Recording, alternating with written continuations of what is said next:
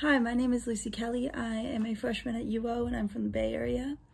Um, I chose my visual story, Fig, um, because was something new and different and I wanted to try it out.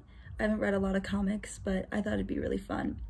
My comic that I wrote is about climate change since it's an issue that matters a lot to me and I think should be a little bit more cared about in today's society. So I wrote it in order to inspire people to take action against climate change. So this is my comic, Our Dying World. I wanted it to basically imagine this future version of our world where climate change has truly wreaked havoc on it, especially because I wanted to highlight some of the consequences of climate change, like more expensive food, um, hard to get clean water, floods, wildfires, things like that. And then I introduced this character um, called Mother Nature, which is basically just a superhero version of Mother Nature.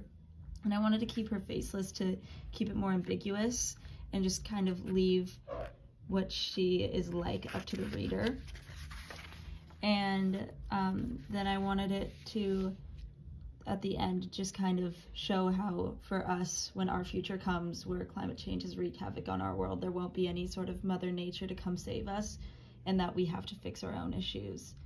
I really hope that my comic can be a form of inspiration for the reader in order to take action against climate change.